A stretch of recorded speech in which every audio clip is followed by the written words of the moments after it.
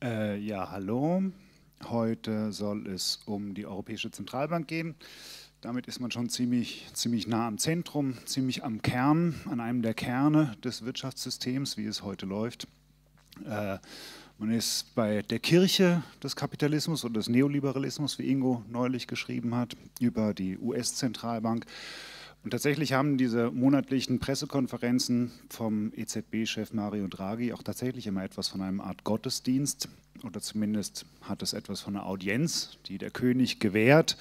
Äh, die Zentralbank umgibt sich mit Autorität, ist von Autorität sozusagen gekennzeichnet, ist ein Expertenfeld per se. Da geht es um viele technische, komplizierte Sachen wie Hauptrefinanzierungssätze, Mindestreserveanforderungen, äh, Langfristtender und so weiter. Das ist äh, wirklich was für Experten, äh, woraus die Europäische Zentralbank, wie jede Zentralbank auch, einen großen Teil ihrer Autorität schöpft. Ähm, Schöpfen tut sie dies auch aus ihrem Auftrag, von dem es immer heißt, sie sei die Hüterin des Euro, sie sei die Hüterin der Geldwertstabilität, das Heilige überhaupt im Kapitalismus, die Stabilität des Geldes. Ähm, sie soll Inflation verhindern, das Geld stabil halten und damit tut sie eigentlich ja was fraglos Gutes. Inflation wollen wir alle nicht, wir wollen alle Stabilität.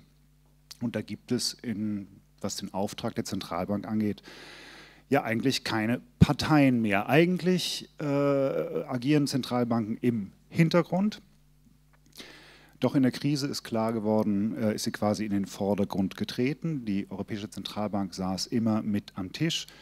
Sie hat, wie es heißt, die Krise, die Eurokrise beendet ähm, und ist auch Teil der Troika zusammen mit der EU-Kommission und dem Internationalen Währungsfonds und passt in den sogenannten Programmstaaten, also in den Krisenstaaten, darauf auf, dass die Länder auch gut sparen und ihre Wettbewerbsfähigkeit erhöhen. Ähm, die Zentralbank ist darüber auch ins Zentrum der Kritik geraten.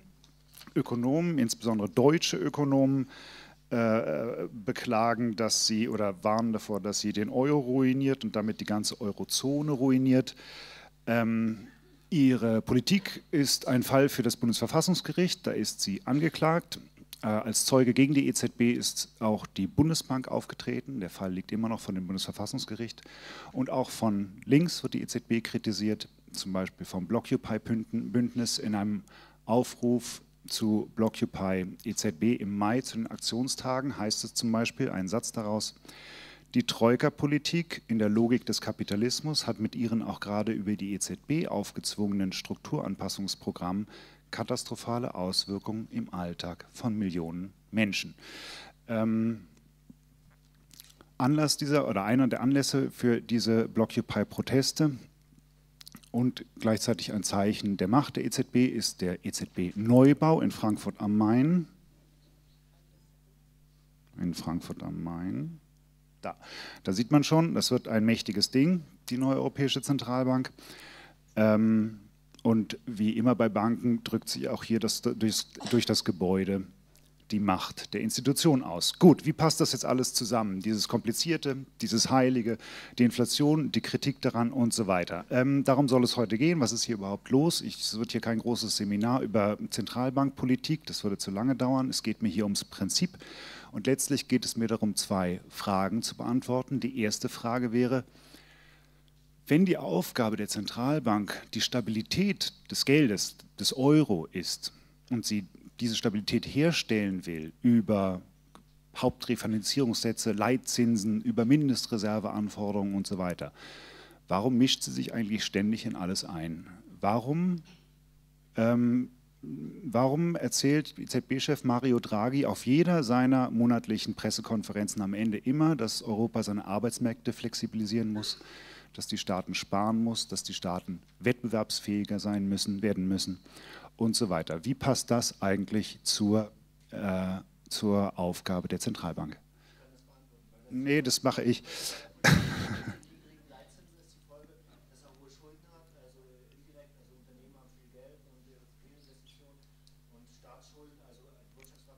Das wird jetzt aber Thema im Vortrag. Und dadurch, und dadurch muss er jetzt irgendwo, irgendwie muss er die Schulden loswerden. Und jetzt fängt er an zu sparen irgendwo. Und deswegen ist dieser ganze Chaos. Und deswegen fängt er mit Arbeitsmarktpolitik, Flexibilisierung an, niedrige Löhne und, und, und. Genau, ich, ich würde es einfach noch ein bisschen mehr ausführen wollen. Im Prinzip, im Prinzip ist das, nee, im Prinzip stimmt das ja. Ähm, gut, das ist die eine Frage. Wieso mischt sich die EZB eigentlich immer so ein und will zum Beispiel äh, sinkende Lohnstückkosten und Sparhaushalte haben? Obwohl doch ihre Aufgabe nur ist, durch elegante Zinslenkung die Stabilität des Euros ähm, herzustellen. Zweite Frage, wie hat es die EZB eigentlich geschafft, in nur wenigen Worten, vor anderthalb Jahren, die Eurokrise zu beenden? Und was hat die Bundesbank, die, jetzt, was hat die Bundesbank eigentlich dagegen? Ähm, nochmal, nochmal ganz kurz, also Verständnisfragen wäre okay, den, den, den Vortrag äh, halte ich. genau. Gut, letztlich möchte ich gerne sagen, warum die Blockupy mit seinen Protesten da am, an einem guten Ort gelandet ist. Äh, und zwar nicht nur, weil die EZB Teil der Troika ist, sondern überhaupt wegen der Sache, die Zentralbanken so machen. Ähm, dazu müssen wir zwei Fragen, äh, möchte ich hier irgendwie behandeln. Die eine Frage ist, äh, was tut eine Zentralbank, die Euro-Zentralbank, aber eine normale Zentralbank auch, andere. Was tun die eigentlich in normalen Zeiten und was tut sie in der Krise? Gut, was tut eine Zentralbank normalerweise? Was weiß das normale Publikum darüber? Man weiß, dass sie äh, die Hüterin des Euros ist. Dann kann man sich sowas hier vorstellen. Die Hüterin des Euros ist sowas wie Schafe hüten. Wir sehen hier aus dem Jahr 2010 die deutsche Meisterschaft im Schafe hüten mit altdeutschen äh, Hütehunden. So macht die, die Zentralbank macht sowas. Sie ist die Hüterin des Euro, heißt es. Das ist eine Sache, die man von ihr weiß. Eine andere Sache, die man von ihr weiß. Für? Vielleicht. Ähm, eine, andere, eine andere Sache, die man von ihr weiß, äh, ist, dass die Zentralbank äh, Geld schöpft, ne, dass sie die Wirtschaft mit Liquidität versorgt. Liquidität, liquide, ist flüssig. Da gibt es ganz viele Wassermetaphern. Das heißt, dass die EZB Geld pumpt. So, dann hat sie so eine Art Pumpe, mit der sie Liquidität in die Wirtschaft pumpt. Oder ein anderes Bild ist auch, dass sie die Geldschleusen öffnet. Immer diese ganzen Wassermetaphern, dass sie Liquidität, dass sie die Gesellschaft mit Liquidität versorgt. Ähm, was steht dahinter? Man weiß es ja auch. Die Zentralbank ist die einzige Institution, die Geld drucken kann, ist die einzige Institution, die Geld nicht verdienen muss oder die es sich nicht aneignen muss, sondern die es quasi produzieren kann, einfach so ohne Gegenleistung. Ähm, das kann die EZB und damit versorgt sie die Wirtschaft mit Liquidität, mit Geld. Die entscheidende Frage ist jetzt, wie macht sie das eigentlich? Wie kommt Geld in die Welt? So könnte man sagen, fliegt sie denn mit dem Flugzeug über die Lande und wirft Liquidität ab? Also wirft Geld ab. Mit dem Flugzeug oder mit dem Helikopter, mit dem Hubschrauber gibt es auch immer so als Bild. Zentralbanken fliegen letztlich mit dem Hubschrauber übers Land und werfen Geld ab, weswegen der Chef der US-Zentralbank, Ben Bernanke, auch immer gerne Helikopter-Ben genannt wird, weil es dieses Bild des Hubschraubers gibt. Gut, wie kommt Geld eigentlich in die Welt? Die Wahrheit ist, die EZB wirft es nicht ab, sie verschenkt es nicht, sondern sie verleiht es. Sie verleiht es, und zwar den Geschäftsbanken, und insofern ist der Ausdruck Geld pumpen gar nicht so falsch, weil sie pumpt es tatsächlich, nämlich sie leiht es den Geschäftsbanken. Schauen wir uns an, wie das geht. Also, wie kommt Geld auf die Welt? Jeder Euro, der so entsteht, äh, jedes Stück gesetzliches Zahlungsmittel, das so entsteht, wie kommt das auf die Welt? Wir haben auf der einen Seite die Zentralbank und ihren Geschäftspartner an der Stelle, die äh, Geschäftsbank, die Deutsche Bank, die Commerzbank und so weiter. Wie kommt Geld jetzt in die Welt? So, die Geschäftsbank gibt der Zentralbank ein Wertpapier, das ist ein Schuldschein, eine Schuldverschreibung, eine Staatsanleihe, eine Zahlungsverpflichtung, ein Zahlungsversprechen, ein Schuldschein ähm, gibt das der Zentralbank und die Zentralbank gibt der Geschäftsbank daraufhin Geld. Geld, das sie schöpft und bei Bedarf eben auch druckt. Dieses Geld, was die Zentralbank der Geschäftsbank gibt, das sind echte Euros.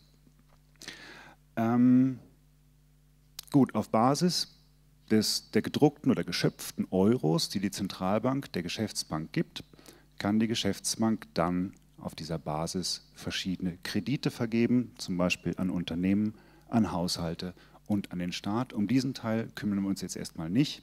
den lasse ich jetzt erstmal beiseite, was die private Bank mit diesen Euros macht, sondern kümmern wir uns mal erstmal um das zentrale Geschäft. Äh, was passiert hier eigentlich ökonomisch? Was passiert hier eigentlich zwischen Geschäftsbank und Zentralbank in diesem, in diesem Tausch? Äh, Schuld, Schuldschein gegen Geld.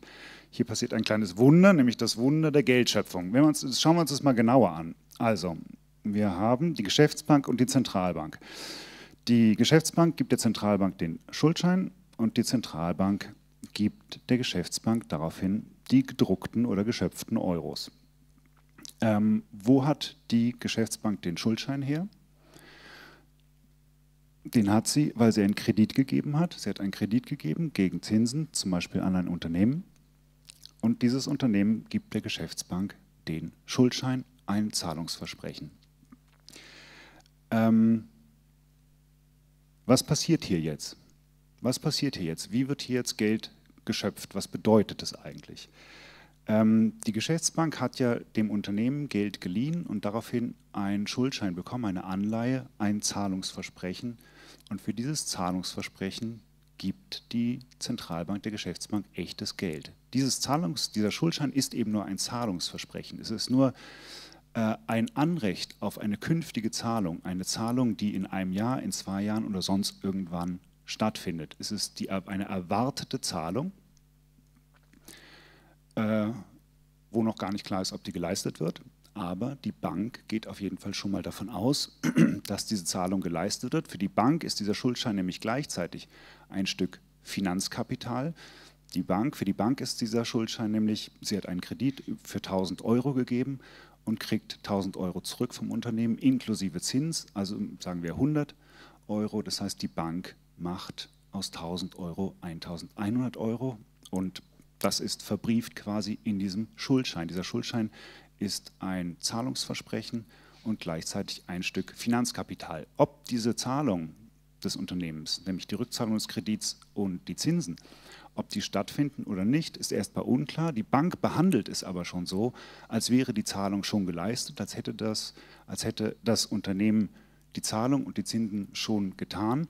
Äh, die Bank behandelt das Zahlungsversprechen wie eine geleistete Zahlung, indem sie sagt, dieses Wertpapier, dieser Schuldschein ist nämlich 1100 Euro wert. Und zwar heute schon, obwohl er darauf beruht, dass erst in Zukunft das Unternehmen diesen Kredit zurückzahlt.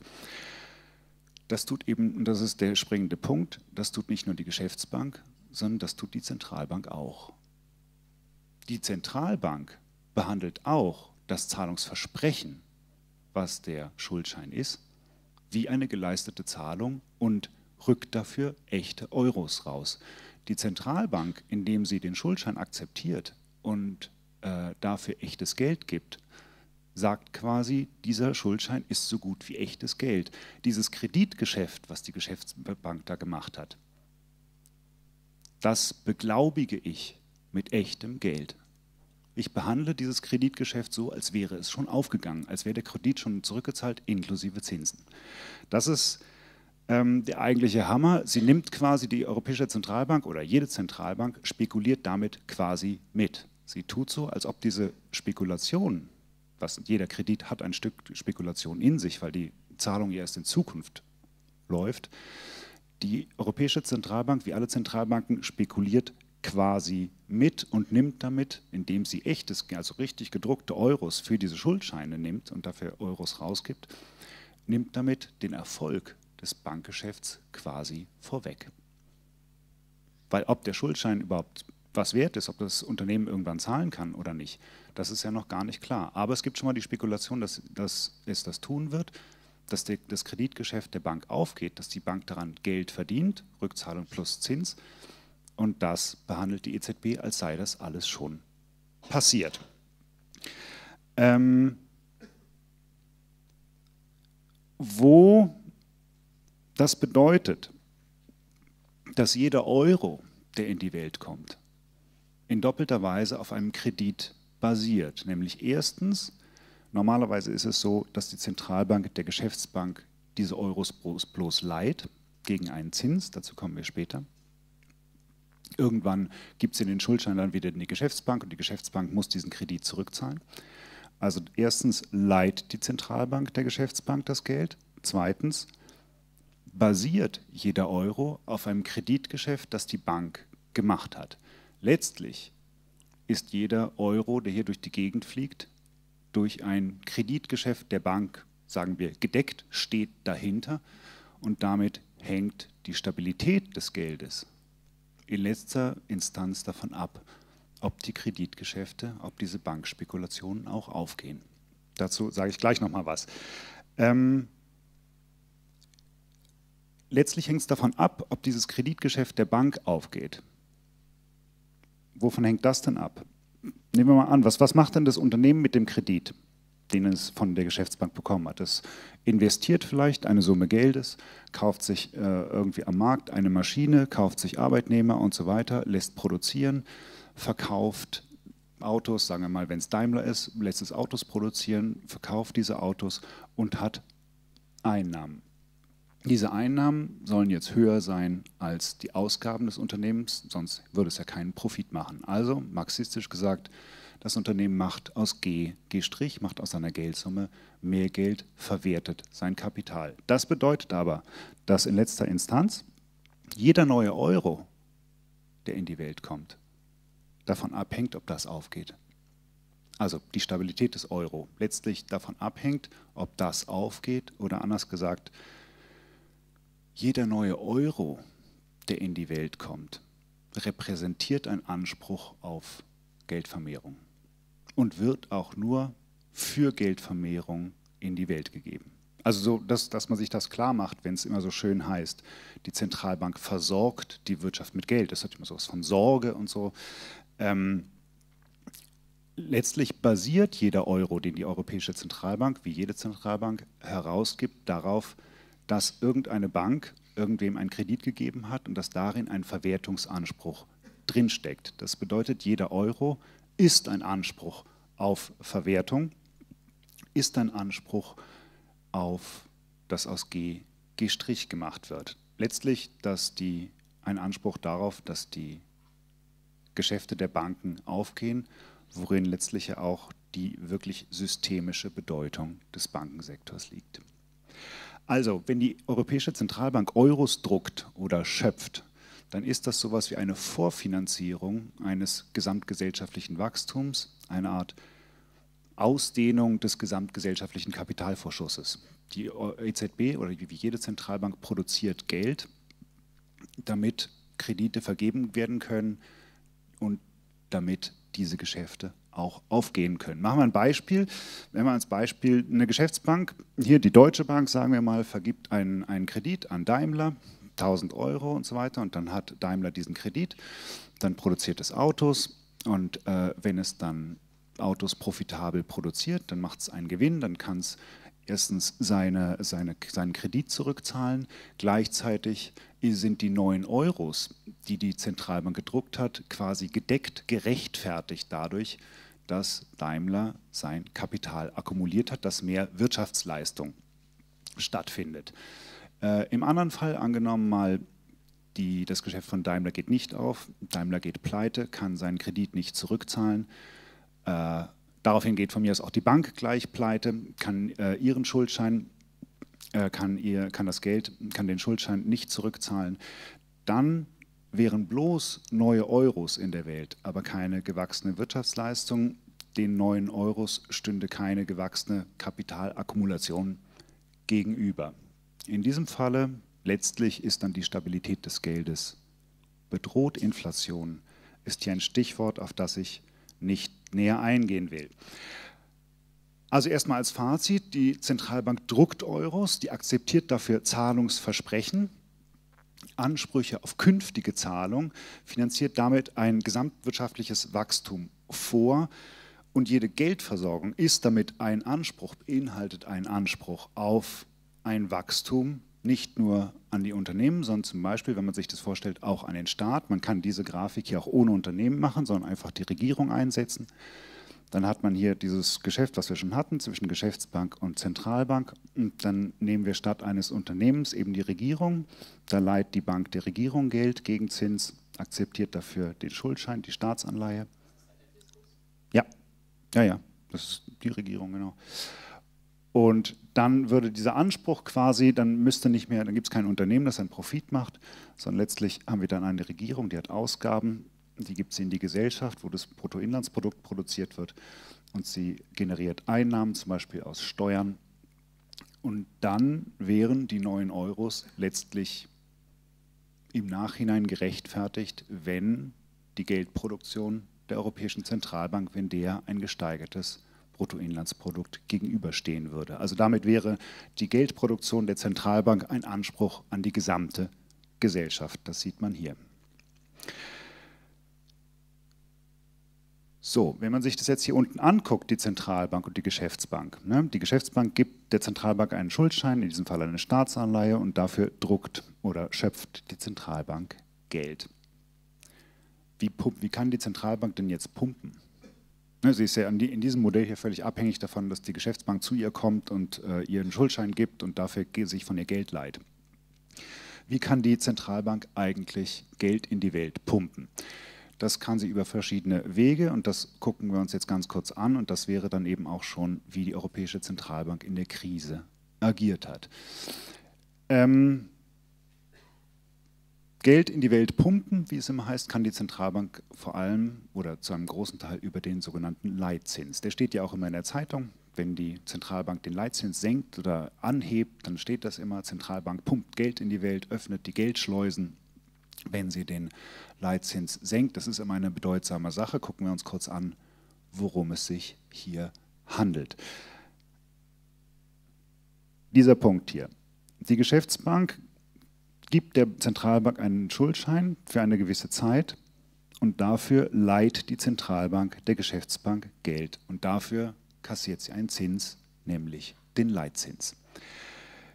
Die Idee dahinter ist jetzt folgende, dass wenn die Zentralbank das billiger macht, wenn sie den Leitzins senkt, dann kann die Geschäftsbank in ihrem Geschäft mit der Regierung oder mit einem Unternehmen diesen Kostenvorteil weitergeben, sprich die Geschäftsbank, Deutsche Bank, Commerzbank, kommt billiger an Geld und kann deswegen auch die Kreditzinsen an ihre Kreditnehmer senken.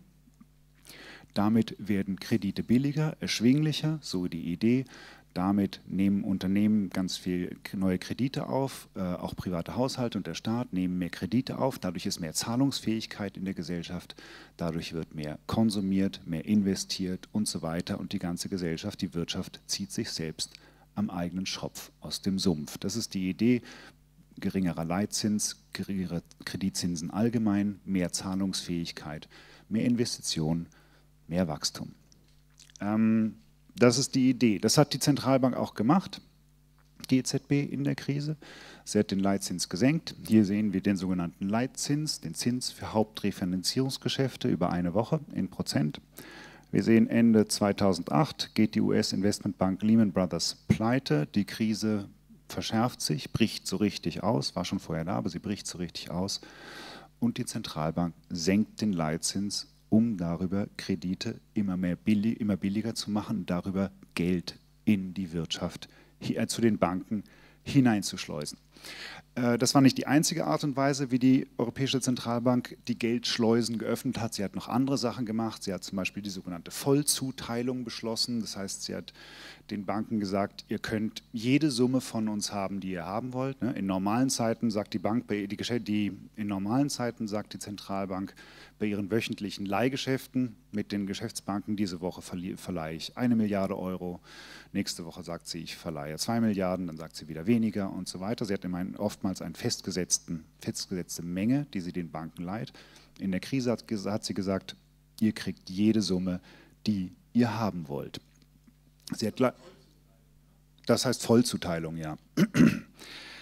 Sie hat die Ansprüche an Sicherheiten gesenkt. Ne? Ähm, die, äh, die, sie akzeptiert von den Geschäftsbanken ja Schuldscheine ja, von allen aller möglicher Formen äh, und gibt dafür Euros raus. Sie hat die Ansprüche an die, an die Solidität dieser Schuldscheine äh, gesenkt. Also sie hat, um ein Beispiel zu machen, sie hat nicht nur einen Schuldschein von Volkswagen akzeptiert und hat dafür Geld gegeben, sondern sie hat auch einen von Opel akzeptiert denen es ja nicht so gut geht. Also als Beispiel, also hat die Anforderungen an die Sicherheiten, die sie akzeptiert, für ihr Geld gesenkt.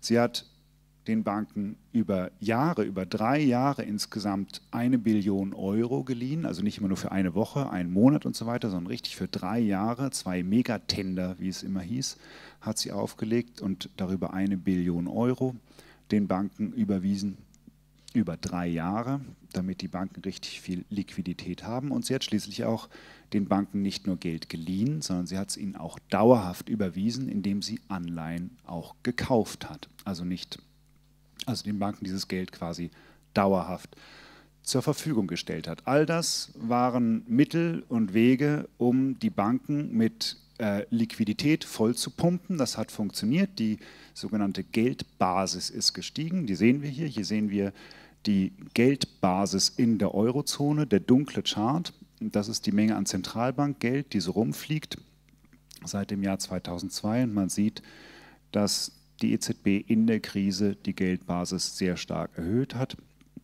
In den letzten Monaten ist sie wieder gesunken, dazu komme ich gleich noch.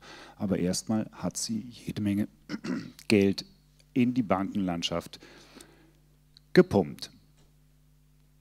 Äh, in einer Hinsicht war sie damit erfolgreich und in einer Hinsicht nicht. In einer Hinsicht war sie erfolgreich und das wollte sie auch, nämlich das war ihr erstes Ziel, die Banken liquide zu halten. Sie wollte, dass die Banken nicht pleite gehen. Was bedeutet das? Schauen wir uns an.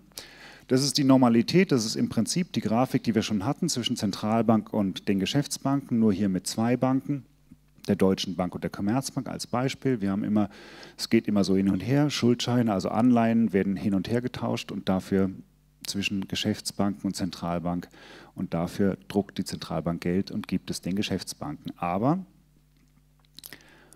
das ist hier der wesentliche Punkt an der Stelle, um an Geld zu kommen, sind die Geschäftsbanken gar nicht nur angewiesen darauf, sich bei der Zentralbank Euros zu holen, sondern sie leihen sich die auch gerne selber. Das ist überhaupt eigentlich lang über große Zeit die Hauptquelle der Banken, um an Liquidität zu kommen. Sie leihen sich es gegenseitig für über Nacht, für einen Tag, für eine Woche, für drei Tage, für einen Monat und so weiter. Dies ist der sogenannte Interbankenmarkt, der größte Finanzmarkt der Welt. Ich glaube, in der Eurozone gehen da jeden Tag, weiß nicht was, eine absurde Summe, zwei Billionen Euro, glaube ich, werden da jeden Tag so hin und her geliehen.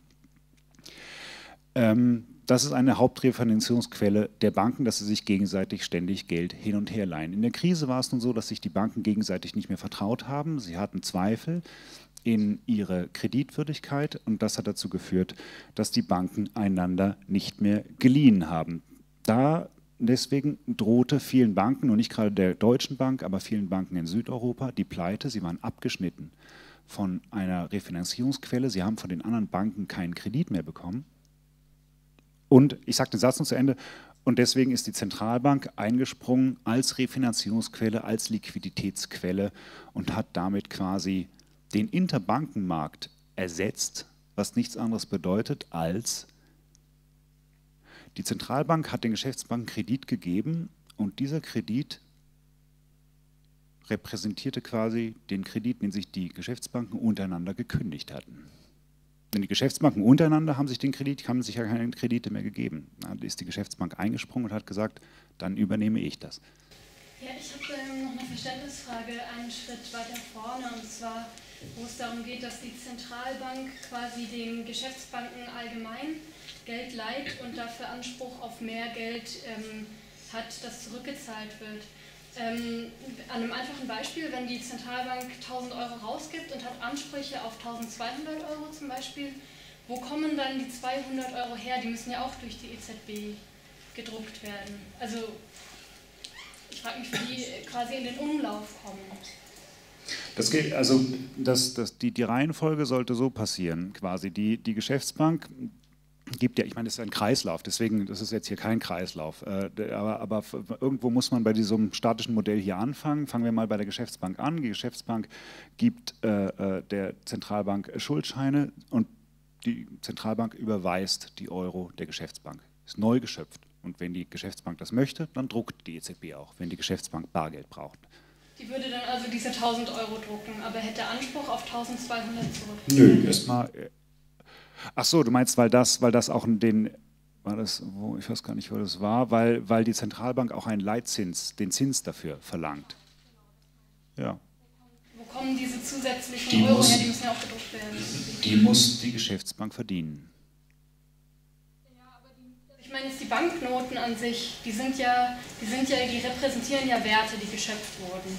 Aber diese Banknoten müssen ja auch durch die Zentralbank, die die einzige Stelle ist, die sie drucken kann, quasi irgendwie produziert und in Umlauf gebracht werden. Denn verdient werden müssen sie ja auch, können sie ja auch nur, wenn sie im, im Kreislauf sind. Das ist jetzt schwierig, weil das geht jetzt genau auf den Punkt, auf den ich jetzt nicht eingehen wollte. Und das ist die, die äh, weil es immer heißt, die Geschäftsbanken können ja auch Geld produzieren.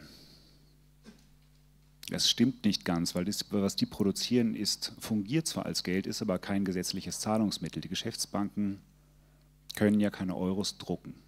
Ne, Die Deutsche Bank kann ja nicht Euros drucken, das kann nur die äh, Zentralbank. Was die Deutsche Bank aber kann, ist Zahlungsfähigkeit schöpfen. Wenn eine. Sag mal, das ist jetzt. Ja. Sagen wir so, um deine, um deine Frage zu beantworten, ähm, oder um es äh, erstmal das mit dem Drucken wegzulassen. Wenn die Zentralbank borgt das Geld der Geschäftsbank, die Geschäftsbank muss es verdienen. Wie verdient sie es? Indem sie einen Kredit gibt an das Unternehmen, zum Beispiel Daimler. Wo kriegt Daimler das Geld her? Es muss es verdienen. Es muss aus einer Million Euro zwei Millionen Euro machen. Kann damit seinen Kredit bedienen äh, und rechtfertigt damit die Euros, die die Europäische Zentralbank neu geschöpft hat. Auf den Punkt wollte ich hinaus. Wie das jetzt genau funktioniert, können wir vielleicht an der Stelle erstmal auslassen, weil ich wollte, oder darauf können wir nachher nochmal äh, eingehen, worauf ich jetzt hinaus wollte, war, dass die Europäische Zentralbank, wie jede Zentralbank, Geld schöpft mit dem an, und dieses Geld ist immer automatisch ein Anspruch an, auf mehr, ein Anspruch auf Geldvermehrung, ein Anspruch auf letztlich gelungene Kapitalakkumulation, Wirtschaftswachstum, dass irgendjemand rentable Arbeit anwendet. So, der, der Punkt, den wollte ich erst noch machen. Wie das dann funktioniert, müssen wir dann vielleicht gleich nochmal machen. Ähm, es funktioniert auf jeden Fall. ähm, jetzt ist natürlich, zack. So, hier pumpt sie Geld in die Welt. Hier pumpt die Zentralbank Geld in die Welt. Ähm, genau. Hier haben wir nochmal der, der, Interbankenmarkt. Die Banken leihen sich eigentlich normalerweise ständig gegeneinander äh, viele Milliarden Euro.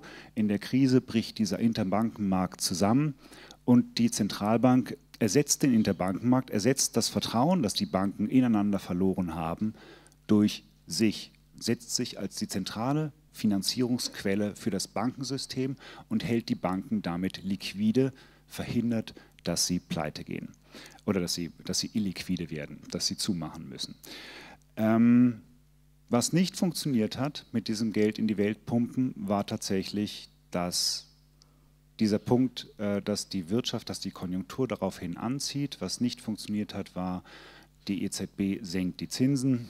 Dadurch werden Kredite billiger, Unternehmen, private Haushalte und so weiter nehmen mehr Kredite, mehr Zahlungsfähigkeit ist da und die Konjunktur geht auf einmal wie durch ein Wunder nach oben. Ähm, das hat nicht stattgefunden, ähm, wie man an den Grafiken sieht. Hier haben wir zum Beispiel die Kredite der Eurobanken an Unternehmen in Milliarden Euro seit dem Jahr 2011. Man sieht, die Kreditsumme geht runter, die Banken verleihen weniger an Unternehmen, obwohl doch die Finanzwelt mit Geld geflutet ist.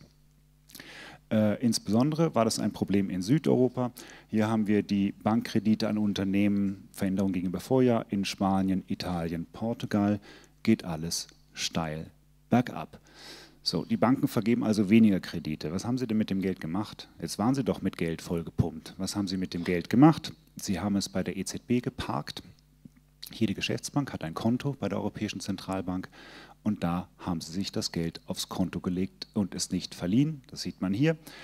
Nochmal die zwei Charts. Oben die Geldbasis in der Gesellschaft, also das Geld, das Zentralbankgeld, was da ist. Und unten der entscheidende, der hellgraue Chart, das sind die Reserven der Banken, die sie bei der Europäischen Zentralbank haben und die steigen parallel zur Geldbasis, sprich die Banken legen sich das Geld auf ihr Konto und verleihen es nicht. Warum verleihen sie es nicht? Kein Wunder, Konjunktur läuft schlecht. Ähm, sehen wir hier zum Beispiel, warum die Banken nicht leihen, das ist die inländische Nachfrage. Ähm, in den USA geht es bergauf seit einigen Jahren, in Großbritannien geht es ein bisschen bergauf, auch in Japan geht es bergauf, tatsächlich in der Eurozone geht es abwärts. Die Banken sehen, es gibt weniger Nachfrage, zahlungsfähige Nachfrage in der Gesellschaft. Unternehmen machen schlechte Geschäfte, machen keinen Profit, schmeißen Leute raus. Und dann haben auch die privaten Haushalte kein Geld mehr, um, ihre Kredite, um Kredite aufzunehmen oder Kredite zu bedienen. Das merken die Banken spätestens dann, weil sie haben ja Kredite vergeben und der Anteil der faulen Kredite, nämlich der Anteil der Kredite, die nicht mehr fristgerecht bedient werden, die sie vergeben haben, der steigt. Das sehen wir hier für Spanien, Italien und Portugal. Da haben wir den Anteil der faulen Kredite in Prozent aller Kredite. Also die Banken sehen, von den Krediten, die wir vergeben haben, werden immer mehr faul, werden nicht fristgerecht, fristgerecht bedient. Ähm, und als letztes natürlich wissen die Banken, dass nicht nur läuft die Konjunktur schlecht, sondern Unternehmen und private Haushalte sind auch hoch verschuldet. Ne? Das muss man sich auch mal klar machen. Den Anteil der Staatsschulden an der Wirtschaftsleistung, die Grafik sieht man ja oft, dass die Staaten sich so hoch verschuldet haben. Tatsächlich haben sich auch Unternehmen und private Haushalte in den letzten Jahren sehr hohe Schulden aufgenommen und ausgerechnet jetzt haben sie hohe Schulden. Genau jetzt läuft die Konjunktur nicht. Die Unternehmen verzeichnen gerade in Südeuropa schlechte Geschäfte. Die die privaten Haushalte verlieren ihre Arbeitsplätze und so weiter. Und insofern sind die Banken damit konfrontiert mit der Lage, dass es erstens Unternehmen gibt, die wollen keine Kredite aufnehmen, weil Geschäft läuft nicht. Und die Unternehmen, die Kredite aufnehmen wollen, die wollen Kredite aufnehmen, gerade weil das Geschäft so schlecht läuft, weil sie nämlich keine Einnahmen haben und deswegen Kredite brauchen. Wo dann die Banken sagen, nee, dir leihe ich lieber nicht. Äh, Fakt ist also, Fazit, Macht und Ohnmacht der Zentralbank. Wenn die Akkumulation, wenn das Geschäft nicht läuft, dann kann sich die Zentralbank auf den Kopf stellen. Dann kann sie äh, den Zins so weit runtersetzen, wie sie will. Sie kann Geld in die Welt pumpen, wie sie will. Wenn das Geschäft nicht läuft, dann hilft auch der billigste Kredit nichts, denn Zentralbankgeld oder das Geld, was sie verleiht, ist ja nur eine Bedingung des Geschäfts, aber ist nicht automatisch ein Geschäftsmittel, ist nicht automatisch ein Mittel, um aus Geld mehr Geld zu machen, um Gewinne zu machen. Ähm, das ist die Ohnmacht der Zentralbank, das weiß auch die EZB und so komme ich zu der Beantwortung der ersten Frage. Warum kümmert sich die EZB eigentlich ständig ums Lohnniveau und so weiter, wo sie doch nur die Zinsen setzen soll? Deswegen ist die EZB Teil der Troika, deswegen ist sie an vorderster Front, wenn es darum geht, die Staaten aufzufordern, zu sparen, Sozialleistungen zu streichen, wettbewerbsfähig zu werden, die Lohnstückkosten zu senken und so weiter und so fort. Ähm, hier deswegen sagt Mario Draghi, das europäische Sozialmodell ist Vergangenheit. Deswegen heißt es in einem EZB-Bericht, dass die Überwachung, also die wirtschaftspolitische Überwachung von Staaten sich auf die Länder konzentrieren muss, die an Wettbewerbsfähigkeit verlieren oder denen Verlust an Wettbewerbsfähigkeit drohen. Und deswegen fordert auch der Berater von EZB-Chef Mario Draghi letztlich Wettbewerbsfähigkeit als Leitmotiv, weil auch die EZB weiß, dass sie zwar die Welt mit Geld vollschwemmen kann, dass letztlich aber die Staaten dafür sorgen müssen, dass sie ihre Wettbewerbsfähigkeit erhöhen, dass die Unternehmen viel verdienen, dass die Löhne sinken und darüber äh, das Geschäft in Gang kommt, das Wachstum in Gang kommt, für das die EZB ihre Euros ja rausgibt. Ja, oder man kann es so rum ausdrucken.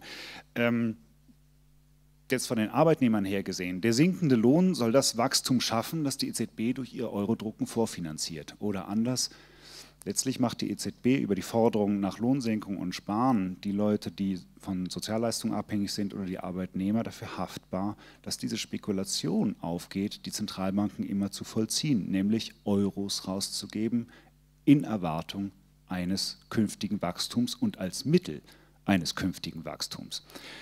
Ähm, und in diesem Sinne agiert die EZB tatsächlich als so etwas wie ein ideeller Gesamtkapitalist in Europa, genauso wie jede andere Bank. So, ich bin jetzt, jetzt wäre dieser erste Teil vorbei. Jetzt hätte ich noch einen zweiten Teil, da ging es, der dauert nicht ganz so lange, da ging es noch darum, wie die, wie die äh, EZB äh, als, als, das war jetzt die EZB als, als Rette, als Schöpferin des Euros. Jetzt gibt es nochmal die EZB als Retterin des Euros, aber ich weiß nicht, ob wir.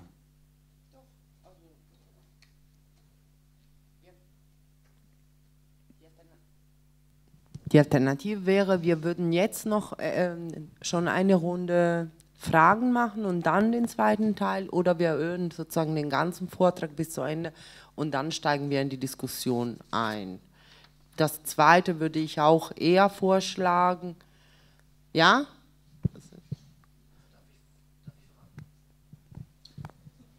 Klar, dann nehme ich doch zwei Fragen auf, bevor du dann weitermachst. Ja, meine erste Frage ist die, Schulz, Schulzein, äh, die Schuldscheinzunahme unendlich, weil äh, das ist, äh, im Prinzip nimmt das ja immer mehr zu. Die EZB kriegt ja immer mehr Schuldscheine. Ist das richtig oder nicht? Und gibt es diesen Prozess auch umgekehrt, dass die Schuldscheine von der EZB zurückgegeben werden an die Bank und dann die Bank an die EZB Geld gibt? Gibt es diesen Fall? Dann das nächste. Investment, äh, Inter, der Interbankmarkt in der EU, was ist denn eigentlich mit Großbritannien mit dem Pfund? Tauscht, Pfund, äh, tauscht Großbritannien Pfund mit Euro zwischen den Banken? Ist äh, Großbritannien im Interbankenmarkt mit beteiligt oder nicht? Und äh, Interbankenmarkt ist ja auch, äh, was sind Länder, die nicht äh, den Euro haben, wie ich weiß jetzt nicht, Norwegen? Ist das richtig? Und äh, sind die im Interbankenmarkt drin? Das mich, würde mich interessieren. Und dann würde mich interessieren, erhält Großbritannien so eine Bank äh, von der EZB Pfund oder Euro? Das wäre auch interessant. Erhält wer von wem Pfund oder Euro?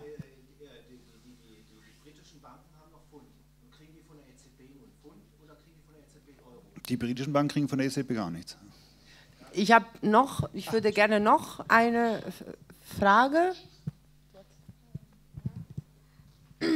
Also ich weiß davon wirklich gar nichts, deswegen frage ich einfach mal ganz blöd. Ähm, muss die EZB e denn ähm, den Banken Geld verleihen, wenn die einfach akkumulieren und äh, das nicht weitergeben? Ähm, kann die da nicht irgendwie strengere Kriterien ansetzen? Und dann das andere wäre noch ähm, mit dem Eigenkapital. Müssen die Banken nicht auch Eigenkapital haben? Also wäre es, ist das vielleicht der Sinn, dass sie die Reserven haben wollen, weil sie es haben müssen, weil ihnen das auch nahegelegt wird? Oder ist das was anderes? Gut, dann würde ich sagen, eine kurze Runde antworten. Ingo, magst du auch schon was sagen? Und dann Stefan und dann würde ich sagen, wir machen mit dem Vortrag weiter. Ja? Mm, also mit der Frage, ob die Papiere wieder zurückgegeben werden. Klar, das ist sozusagen ein, so wenn, die, wenn, die, wenn das Geld zurückgegeben wird, dann äh, gibt die EZB auch wieder diese Papiere zurück. Und die Papiere, das hat der Stefan äh, gerade sehr deutlich gemacht, sind im Prinzip die Grundlage dafür, dass dieses ganze Geldsystem funktioniert. Was wiederum äh, dazu führt, das hatten wir, glaube ich, vor zwei Wochen mal kurz angesprochen, dass ähm, zum Beispiel in den USA, als äh, Anfang der 2000er Clinton es geschafft hat, die, einen ausgeglichenen Staatshaushalt vorzulegen und die Perspektive war, das läuft so weiter, hätte es dazu geführt, dass immer weniger Staatsschuldpapiere im Umlauf sind, was dazu geführt hätte, dass immer weniger Sicherheiten da sind, die äh, Banken äh, der FED, bei der FED hinterlegen können. Das heißt, ähm, es hätte ein Problem gegeben, das hat der IWF erkannt und hat ein Papier aufgesetzt, Forschungspapier, wo sie sich gefragt haben, hat das ähm, negative Auswirkungen auf die Stabilität des Finanzsystems? Das heißt, den, den Köpfen, sozusagen den Forschungsleuten hinter derartigen Institutionen ist es relativ klar, dass es ähm, einen bestimmten Stock an äh, sicheren Papieren geben muss, damit das Ganze so läuft, wie der Stefan äh, dargestellt hat. Und ähnlich hat sich Schäuble vor ein paar Wochen geäußert auf einem Euro-Treffen, wo er gefragt wurde, wann zahlt denn Deutschland eigentlich seine Schulden zurück? Da war seine Antwort hoffentlich nie, weil er ganz genau wusste, deutsche Bundesanleihen, also die Bundesanleihen sind die sichersten Papiere, die werden auch äh, sozusagen in Zukunft immer angenommen von der EZB und sie sind im Prinzip ähm, die zentrale Basis auch dafür, dass dieses System so funktioniert. Das heißt, ähm, das hängt sozusagen beides auch ein bisschen zusammen. Also dann war noch die Frage, ob ja, die britischen Banken nehmen am Interbankenmarkt teil. Ähm, ähm,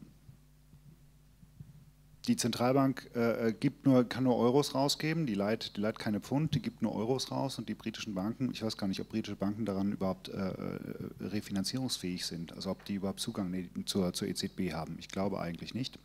Das haben nur die Banken des Eurosystems, also der Eurozone. Muss die, Bank, muss die EZB den Banken Geld leihen, kann sie sie nicht zwingen, wozu? Die EZB ist relativ verzweifelt, was das angeht, weil sie sagt immer irgendwie, jetzt, jetzt, jetzt leid doch, aber mehr als denen zu 0% Zinsen über 100 Jahre geben, kann sie auch nicht tun. Sie kann die Banken ja nicht zwingen. Tatsächlich, Martin Schulz, EU-Parlamentssprecher, glaube ich, hat gesagt, tatsächlich müsste man doch die Banken vielleicht zwingen, das Geld zu verleihen. Ne? Das, es gibt jetzt Überlegungen, dass die Zentralbank den Banken nur Geld gibt, wenn die auch tatsächlich dann an die Unternehmen verleihen. Das kann man machen. Auf der anderen Seite wird es schon deswegen nicht passieren, weil man weiß ja, warum verleihen die, die Banken nicht? Weil das Geschäft nicht läuft. Wieso sollte man die, die dann die Banken zwingen dazu, das Geld zu verleihen? Die Banken sind ja beauftragt. Äh,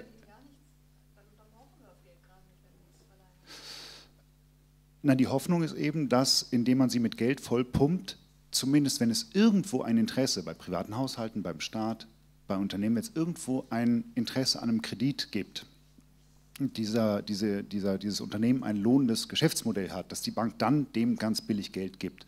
Erstmal ist das Geld da. Ähm, und die Hoffnung ist, dass es irgendwann dann auch verliehen wird. So, es ist, man kann es den Banken wegnehmen, aber warum? Es kostet ja auch nichts, die EZB, den Banken Geld zu geben. Es liegt ja nur rum.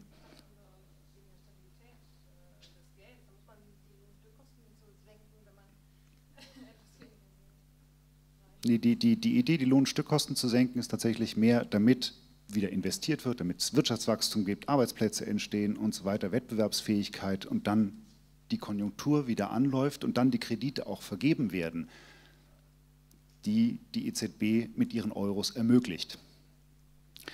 Ähm, und nee, diese Reserven, die die Banken haben, das, ist, das sind einfach ihre Überschussreserven. Die müssen sie gesetzlich nicht haben. Also klar, Banken müssen Eigenkapital haben und Mindestreserven, aber die haben viel mehr, als sie, viel mehr, als sie brauchen.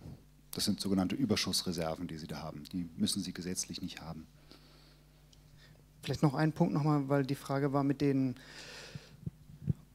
ob die britischen Banken äh, sich Geld holen können bei der EZB, e das ist nicht so, aber in der Krise war sagen, das Weltfinanzsystem so erschüttert, dass sich, dass sich die Zentralbanken auch gegenseitig Kreditlinien eingeräumt haben, die nicht nur, ähm, also früher waren die temporär, die haben sie sozusagen auch auf Dauer gestellt. Insofern, dass äh, die Banken natürlich nicht nur mit Euros ähm, arbeiten, sondern eben auch mit Yen und US-Dollar und vor allem die FED und die EZB haben sich eben gegenseitig ähm, sozusagen Kreditlinien gegeben, damit sich die Banken gegenseitig äh, Geld leihen können, damit ihre Banken auf ihrem Territorium sozusagen auch äh, mit, mit anderen ähm, Geldern versorgen können, wenn es hart auf hart kommt. Also wenn so zum Beispiel ähm, die Banken eben in US-Dollar liquide sein müssen und nicht äh, in Euro das äh, gibt es oder gab es auf jeden Fall und gibt es nach wie vor.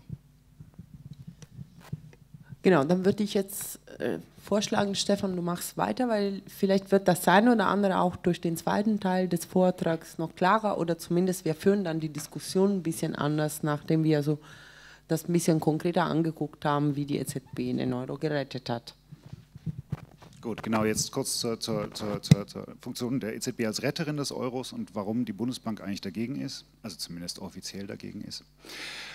Ähm, was war, was war los? Gehen wir kurz zurück. Mitte des Jahres 2012 brach die Euro-Krise Euro nochmal so richtig aus. Da ging es dann, die Krise war dann nicht mehr nur in den, in den kleineren Euro-Staaten, Griechenland, Portugal, Irland, sondern sie äh, äh, griff auf die größeren Staaten über, nämlich Spanien und Italien. An den Finanzmärkten, die Finanzanleger bezweifelten die Kreditwürdigkeit von Spanien und auch von Italien. Sie bezweifelten, dass diese Länder ihre Kredite zurückzahlen können. Äh, daraufhin stiegen die Zinsen, die der spanische Staat, aber auch die Unternehmen für Kredite zahlen mussten bei den Banken. Äh, die stiegen dann irgendwann so weit, dass tatsächlich die Finanzierungsfähigkeit des spanischen Staates und des italienischen gefährdet war. Äh, damit drohten diese Länder, drohte es, dass diese Länder keine Kredite mehr zu bezahlbaren Zinsen aufnehmen können. Damit drohte letztlich eine weitere Staatspleite und eine Staatspleite von Spanien oder Italien, beziehungsweise um so etwas zu verhindern. Damit wäre der Euro-Rettungsschirm tatsächlich überfordert gewesen. Italien hat ja immerhin zwei Billionen Staatsschulden. So, in diesem Moment, als die Eurozone tatsächlich wackelte, weil die Zinsen auch für Italien und Spanien stiegen, frei nach dem Bankgesetz oder im kapitalistischen Gesetz, dass die Länder oder die Kreditnehmer, die, denen es besonders schlecht geht, die müssen besonders hohe Zinsen zahlen. Ähm, in diesem Moment griff die Europäische Zentralbank ein in Form ihres Präsidenten Mario Draghi. Er sprach seine berühmten Worte, die die Krise beendet haben. Er sagte im Juli in London auf einer Investorenkonferenz, wir werden alles tun, um den Euro als stabile Währung zu erhalten und glauben Sie mir, es wird genug sein. Das hat der Krise tatsächlich die Spitzen abgebrochen, also der Anti-Euro-Spekulation. Man sieht es hier. Hier haben wir die Zinsen auf zehnjährige Staatsanleihen in Prozent seit 2009. Die steigen, steigen kräftig an. Und hier spricht Mario Draghi seine berühmten Worte. Ähm, was hat Draghi gesagt? Draghi hat ein Anleihekaufprogramm angekündigt, das sogenannte Anleihekaufprogramm OMT. Das wurde, das haben wir hier auch noch, da wurde es offiziell angekündigt. Ähm, was hat er damit gesagt? Ähm, Mario Draghi hat gesagt, im Notfall kauft die EZB Staatsanleihen auf. Anleihen von Staaten in Not. Äh, genau, im Notfall kauft sie Staatsanleihen auf. Was heißt das? Äh, oder warum hat das für Vertrauen an den Finanzmärkten gesorgt? Schauen wir uns das nochmal ganz kurz an, wie das normalerweise abläuft. Unten die Zentralbank, dann drüber die Finanzanleger und die leihen der Regierung. Und die Regierung hat dann ihre Ausgaben und so weiter und so fort.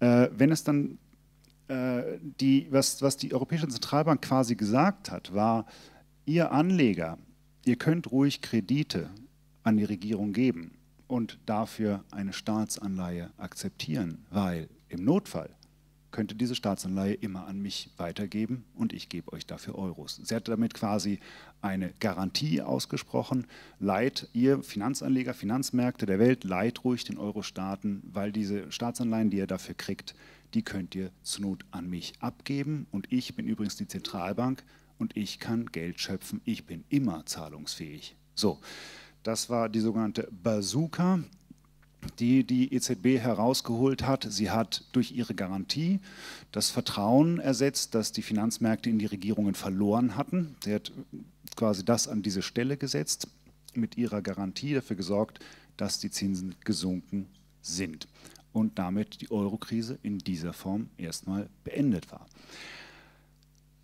Kaum war das passiert, gab es eine Klage in Deutschland insbesondere in Deutschland, vor allen Dingen in Form der Bundesbank, aber auch von Ökonomen wie Hans-Werner Sinn und anderen. Bevor man sich jetzt diese Klage anguckt, der Bundesbank und verschiedener Kreise, insbesondere in Deutschland, schaut man sich mal ganz kurz an, was haben denn andere Zentralbanken gemacht? Andere Zentralbanken, USA, Großbritannien, Spanien, die haben ganz normal, die kaufen schon lange Anleihen und zwar über viel, viel Geld. Guckt man sich das mal an. Hier haben wir die Staatsanleihen im Besitz der Zentralbanken wir sehen, was da so in die Höhe schießt, rechts, das ist Großbritannien. Wir sehen auch die gepunktete Linie, die japanische Zentralbank kauft auch viele Staatsanleihen und die US-Zentralbank, der dicke Strich, hat auch viele Staatsanleihen gekauft. Und dieser kleine Furz da unten rechts in der Ecke, das ist, was die EZB bislang gekauft hat. Die hat 2010 mal ein paar gekauft. Verständnisfrage. Kauft sie nun die EZB oder kauft sie nicht? Das ist jetzt meine Frage, weil du hast gesagt, sozusagen, sie sagt den privaten Anlegern, im Notfall könnt ihr das bei mir wieder eintauschen.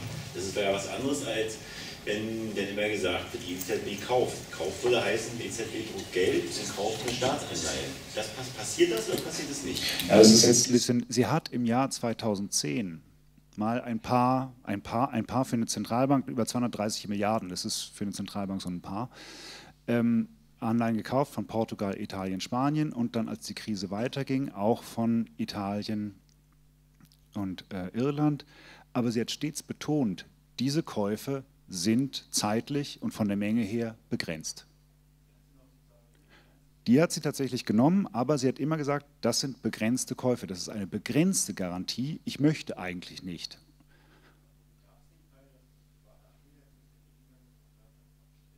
Ja klar. Ja klar, diese, dieses, diese Anleihen, die die EZB kauft, die kauft sie von den Anlegern. Mhm. Genau. Aber dieses sogenannte Anleihekaufprogramm, das alte, das SMP, wie es hieß, war zeitlich und von der, vom Volumen her begrenzt und hat deswegen an den Finanzmärkten gar nicht das berühmte Vertrauen geschaffen, weil die EZB gesagt hat quasi, ich kaufe mal ein bisschen, aber eigentlich kaufe ich auch nicht. Und dieses OMT-Programm, damit hat sie gesagt, ich kaufe zur Not ohne Begrenzung. So lange, bis, bis Schluss ist. Ähm, gut, sieht man hier, die Zentralbank in den USA, Großbritannien, Spanien, achso. Äh, wenn, wenn Staatsanleihen zur EZB verkauft werden, ist ja der Zeitpunkt entscheidend. Wenn zum Beispiel eine Krise hoch ist, also wenn, wenn, wenn, wenn man sagt, die Wertpapiere sind nichts wert, weil, weil der Staat wackelt oder weil er nicht, nicht eine schlechte Wirtschaft hat, sind ja die Zinsen hoch. Die EZB kauft dann diese Wertpapiere und äh, hat dann ein Wertpapier mit hohen Zinsen. Und äh, dann, dann kommt sozusagen die EZB Geld vom Staat. Mit welchem Zinssatz legt sie denn fest vom Staat? Äh, mit dem hohen Zinssatz oder legt sie den ganz niedrigen fest? Oder wie kommt denn die Zinsenfestlegung mit diesen hohen Zinsen, vom Ausgangspunkt der hohen Zinsen? Legt sie den willkürlich dann fest und hat, ist dann der Zinssatz für, die, für Spanien, wenn sie spanische Papiere, Wertpapiere aufkauft, also spanische Staatsanleihen und äh, griechische, ist denn der Zinssatz, den sie vom Staat verlangen, ist der identisch oder ist der unterschiedlich? Identisch. Identisch. Und wie wissen Sie, wie hoch der ist? Nee, das steht auf dieser Anleihe drauf, wie hoch der Zinssatz halt jeweils ist. Ja, aber wenn in dem Moment, wo, wo, wo an die EZB verkauft wird, ist, steigt doch der Zinssatz. Nee, Nö. Nee, du musst dir vorstellen, eine Staatsanleihe ist ja so ein Papier, da steht drauf, ähm, äh, Staatsanleihe über eine Million Euro zu 5% Zinsen. Das steht da drauf. Ach so? Punkt. Das ist ein fester Zinssatz. Ja. Ach so. Ja. Ich dachte, das ist variabel. Und die Staaten sind die bloß nicht losgeworden und dann ist die EZB eingesprungen. Moment, Moment, gibt es Staatsanleihen mit variablen Zinssatz, ja oder nein? Ganz paar, wenige. Ich habe jetzt noch zwei, drei Rückmeldungen, dann muss ich noch mal kurz unterbrechen, dann würde ich auch mit dem Mikro rumgehen, weil ansonsten funktioniert es nicht für die Videoaufnahme. Man versteht. Wie bitte? Wenn jetzt Verständnisfragen da sind, dann würde ich gerne die aufnehmen. Ja. Du bist die dritte Meldung. Genau. Kurze, knappe Verständnisfragen. Ja, ist es nicht einfach so, dass dadurch, dass die EZB gesagt hat, wir kaufen zur Not auf, gerade deshalb die Zinsen sinken für die Staatsanleihen? Und deswegen kann dann auch der Zinssatz gleich sein, dachte ich. Ja, und ich habe jetzt nicht ganz verstanden, also dieser berühmte Punkt, wo der Mario Draghi sagte, der Euro ist sicher und so weiter. Ich meine, wir hatten ja von dem Pofalla mit der NSE-Frage auch so den Punkt, wo er die Krise beendet hat. Aber äh, also beruht das jetzt darauf, dass die Finanzanleger sagen, notfalls wird also die EZB Geld drucken ohne Ende, damit wir unsere äh, Anleihen samt Zinsen bezahlt kriegen?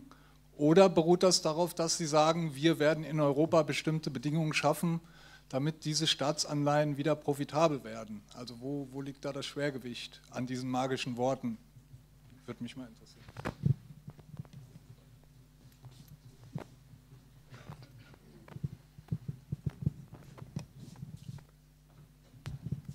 Meine Frage ist eine, eine, Folgefrage aus den Fragen davor. Ich habe jetzt nicht ganz verstanden, wenn die EZB, ähm, egal ob begrenzt oder später dann auch unbegrenzt Staatsanleihen aufkauft, heißt es, sie kauft die Staatsanleihen direkt von den Staaten, indem sie sie finanziert indirekt, oder heißt es, sie kauft von verzweifelten Anlegern, die die Dinger loswerden wollen, deren Staatsanleihen dann ex post sozusagen und sagt, bei mir kannst du sie bunkern, ich bezahle sie dir zu dem damaligen Zinssatz, der eben auf dem Papier steht. Zweiteres. Gut, dann vielleicht Stefan noch mal eine kurze, kannst du kurz noch mal auf die Fragen eingehen und dann weiter, weil ansonsten der, der werden wir, wir dann nicht so viel Zeit für die Diskussion haben. Weil, weil, weil die Zentralbank dieses Versprechen, diese Garantie abgegeben hat, sind die Zinsen gesunken. Ganz klar, weil die Finanzanleger, die rechnen ja einzelwirtschaftlich. Jeder Finanzanleger sagt sich dann erstens, ich kann ja jetzt Spanien leihen, weil wenn ich Zweifel kriege, kann ich ja jederzeit an die Zentralbank verkaufen. Ich habe ja gar nicht mehr den Fall, wie, wie was weiß ich, mit Griechenland-Anleihen. Auf einmal sitzt die Deutsche Bank auf Griechenland-Anleihen und äh, kriegt die nicht los zu einem vernünftigen Preis. Und dadurch verfällt dann der Wert der Anleihen. Wenn du die Zentralbank als Geschäftspartner hast und die Zentralbank sagt, zur Not kannst du die Anleihe immer an mich verkaufen, haben die immer ein Sicherheitsnetz. Und das, damit äh, äh ist die Kreditwürdigkeit der Staaten wiederhergestellt. Ja. Ja. Ja. Nein, äh, Entschuldigung, ich muss jetzt aber die Fragenrunden kurz unterbrechen, weil ich das Gefühl habe, dass wir sonst mit dem Vortrag nicht weiterkommen und dass wir dann auch die anderen nicht so sehr verfolgen können. Abgesehen davon, dass ich auch ein bisschen Zeit für die Diskussion haben möchte, so dass sich auch andere Leute hier beteiligen können. Ja? Gut, dann. Wenn es nicht verstanden ähm, Gut, auf jeden Fall hat die, äh, diese, diese, diese Ankündigung war eben eine Garantie der Institution, die das Geld im Keller hat, unbegrenzt dass sie zur Not Staatsanleihen kauft. Die Finanzmärkte fanden das natürlich super, weil, oder die Finanzanleger, weil sie haben damit eine Sicherheit, ihre, ihre Kreditpapiere immer zur Not an die Zentralbank verkaufen zu können, womit die Zentralbank dann quasi das Risiko, das so eine Staatsanleihe ja auch hat, in die eigenen Bücher nimmt. Sie agiert quasi als zentraler potenzieller Kreditgeber der Euro-Staaten. Ähm, sie verkauft dabei, sie kauft nicht von den Staaten, das ist eher verboten, der Europäischen Zentralbank, direkt von den Staaten Staatsanleihen zu kaufen, sondern sie kauft die von den Finanzanlegern. Äh, warum das so ist, dazu könnte man nachher nochmal was sagen. Ähm, so, zack, zack, zack, das war die Dings. So, mal ganz kurz hier. Hier haben wir die Staatsanleihen im Besitz der Zentralbanken. Man sieht, die anderen Zentralbanken kaufen jede Menge Anleihen und drucken dafür Geld, erhöhen damit die Geldbasis. Man kann sich das für den Fall der US-Zentralbank mal angucken. Hier haben wir die Freiheit der USA beim Gelddrucken. Der dunkle Chart, das ist die Geldbasis in den USA. Und da unten der kleine hellgraue, das ist die Europäische Zentralbank, die ihre Geldbasis auch ausgeweitet hat. Aber wenn man es vergleicht mit den USA, ist das doch relativ wenig. Ähm, warum kauft die US-Zentralbank jeden Monat Geld? Ja, jeden Monat Staatsanleihen auf und private Anleihen. Warum macht sie das? Ähm, um, weil die US-Zentralbank sich sagt, davon profitieren wir doch alle. Dann gibt's dann äh, äh, kaufe ich Anleihen auf, dadurch sinken die Zinsen, dadurch kann sich der Staat billiger refinanzieren, dann können sich die Unternehmen billiger Kredite kriegen, privaten Haushalte können billiger Kredit geben, ist doch super. Wir kaufen Anleihen auf, die, die US-Zentralbank sagt quasi, das Geld ist doch das Mittel des Staates wenn die Finanzmärkte das nicht hergeben oder wenn Finanzmärkte immer mit den Zinsen so hoch gehen und so weiter, dann drucken wir einfach so lange, bis Zinsen runtergehen, weil wir davon alle was haben, weil sinkende Zinsen sind doch für alle gut. Äh, so denkt sich das die britische Notenbank, die japanische Notenbank und die US-Zentralbank auch. Ähm, die EZB könnte sich das auch denken, weil in, die EZB hat ja, wie wir vorhin gesehen haben, die Leitzinsen wahnsinnig gesenkt, damit das Zinsniveau in Europa sinkt, damit alle billig an Kredite kommen. Das funktioniert aber gar nicht so richtig. Das funktioniert für die sogenannten Kernstaaten in Europa, wie Deutschland oder Österreich. Das funktioniert aber nicht für die Peripheriestaaten. Hier haben wir die Zinsen für Kredite an Unternehmen unten in den Kernstaaten, Nord-Euro-Staaten, sind die Zinsen für Unternehmen tatsächlich gesunken. In den Peripheriestaaten, Südeuropa, bleiben sie aber hoch. Die EZB hätte also jeden, jeden Grund, ähm, einfach mal massenhaft Staatsanleihen zu kaufen, und zwar ohne Ende. Sie könnte das auch, vielleicht macht sie das auch noch, aber die Bundesregierung hat schon gegen die Ankündigung von Anleihekäufen einen Einwand erhoben. Und dieser Einwand liegt jetzt von dem Bundesverfassungsgericht.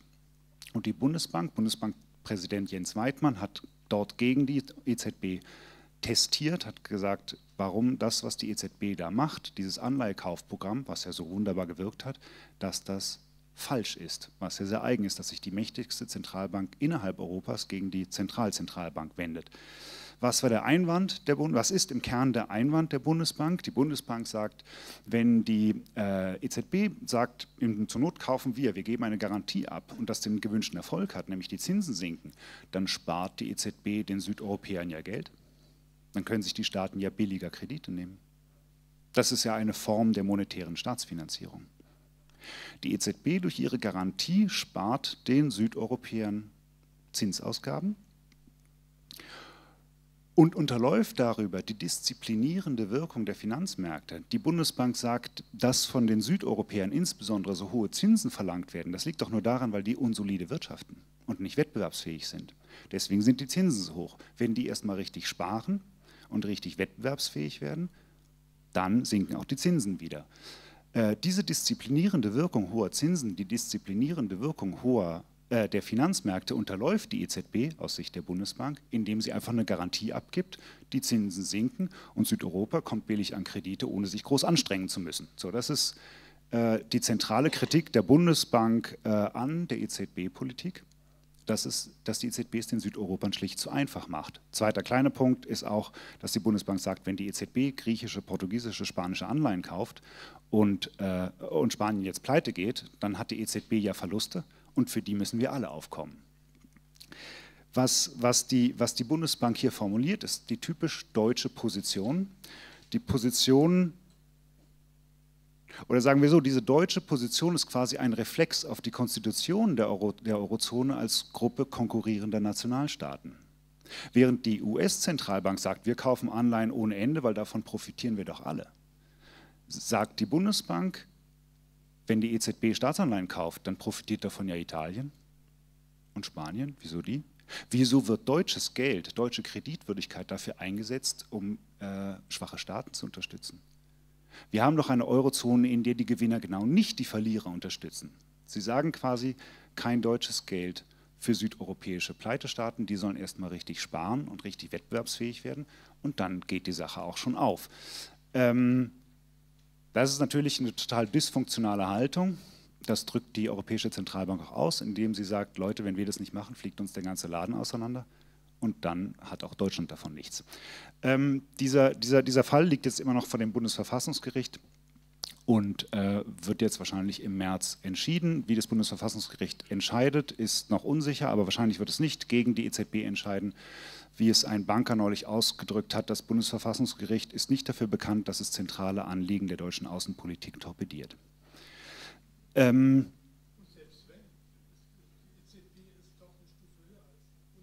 ja, ja, zur Not, selbst wenn es, aber da, da gäbe es schon, gäbe es schon Varianten. Achso. Gut, ich möchte noch ganz kurz als, äh, zum Schluss nochmal eingehen, was, was ist jetzt der Gegensatz eigentlich für die, die südeuropäischen Staaten, die eher sagen, das ist doch gut, wenn die Zentralbank uns Geld gibt oder uns hilft dabei, Geld zu bekommen und der Bundesbank. Wir haben nochmal hier dieses, dieses, ähm, dieses Ding hier, ne? die Regierung und die Finanzanleger, die Regierung leiht sich Geld von den Finanzanlegern und unten die Zentralbank. Ähm, gehen wir mal die beiden Kästen in der Mitte, das Ding zwischen Regierung und Finanzanlegern. Da erhalten die Regierungen jetzt permanent Kredit und geben ihre Staatsanleihen dafür weg. In der Krise ist das jetzt gesperrt. Anleger verlieren Vertrauen, äh, leihen den Staaten nichts mehr. In dieser Situation sagen quasi die Südeuropäer im Kern, sagen sie, dann umgehen wir das doch. Dann geben wir doch unsere Anleihe direkt zur Zentralbank. Könnten sie auch machen, theoretisch. Das ist übrigens, was äh, Sarah Wagenknecht als Vorschlag hat. Geben wir doch die Anleihe direkt der Zentralbank und finanzieren uns, kriegen dafür Geld und finanzieren uns ohne Umweg über die blöden Finanzmärkte, die immer irgendwie rumspinnen. Das ist die Idee äh, einiger Süd, äh, in Südeuropa vermittelt und das ist die Idee explizit, die auch Sarah Wagenknecht, die ja in, der Woche, in zwei Wochen hier ist, auch, ähm, auch vertritt. Ähm, diese Idee sagt quasi, das Geld ist doch das Mittel des Staates und wenn die Finanzmärkte es nicht hergeben, dann produzieren wir es halt selber. Ne? Das ist doch, äh, dafür haben wir das Papiergeld doch eingerichtet letztlich. Wir leben ja nicht mehr in Zeiten des Goldes. Gut, Haltung der Bundesbank und auch eigentlich der meisten anderen, die, die allgemeine Ökonomenhaltung ist, das ist verboten. Die äh, Länder dürfen keinen Umweg nehmen, sie müssen über den Weg der Finanzmärkte gehen, weil das Geld nicht Mittel des Staates ist, sondern es doch zumindest gleichzeitig umgekehrt auch so ist. Der Staat ist Mittel des Geldes. Nur wenn die Gesellschaft wettbewerbsfähig wird, Wachstum, Investitionen, Arbeitsplätze und so weiter, wenn sie rentabel, profitabel wirtschaftet, rechtfertigt sie die Schaffung von immer neuem Geld. Letzteres sieht auch die EZB so und deswegen hat sie ihre Hilfe auch unter den Vorbehalt gestellt, Hilfe von der EZB wird es künftig nur geben für Länder, die A, den Stabilitätspakt unterschrieben haben, den Fiskalpakt unterschrieben haben, die eine Vereinbarung mit dem Euro-Rettungsschirm haben und sich zu ganz vielen Sparhaushalten und Wettbewerbsfähigkeit verpflichtet haben. Gut, Fazit, Blockupy, finde ich, hat sich ein gutes Ziel ausgesucht, weil die Zentralbank ist letztlich das Scharnier zwischen Staat und der Finanzwirtschaft als erster Schritt garantiert der Staat die Geltung des Geldes. Das macht einfach ein Absatz 14 Bundesbankgesetz. Da sagt der Staat, in Europa wird mit Euro bezahlt. Euro muss als Zahlungsmittel akzeptiert werden.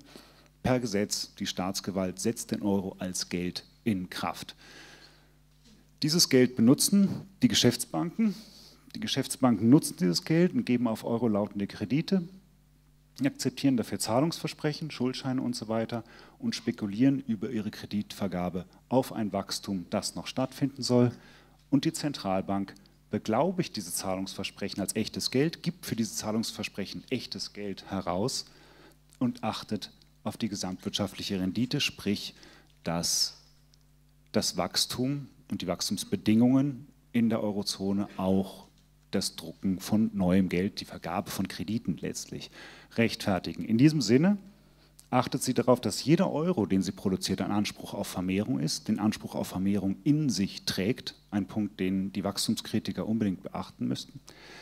Und zweitens agiert sie damit als ideeller Gesamtkapitalist oder man könnte auch sagen als ideeller Gesamtbanker oder Gesamtanleger der gesamten Eurozone, tatsächlich der gesamten Eurozone, weil sie sich auch dann gegen partikulare Interessen, zum Beispiel Deutschlands, wendet im Interesse der gesamten Eurozone. Also als ideeller Gesamtkapitalist sorgt sie dafür, dass das Geld hart ist. Das ist immer interessant, hartes Geld. Gegen wen ist das hart? In diesem Fall ist das Geld insbesondere hart gegen die, die die Akkumulation herstellen müssen, gegen die Arbeitnehmer. Ähm, insofern würde ich sagen, na, da sieht man nochmal die Macht der Zentralbank. Insofern würde ich sagen, dass sich Blockupy ein 1a-Ziel ausgesucht hat für Proteste, weil es damit tatsächlich am Kern der ganzen Angelegenheit angekommen ist.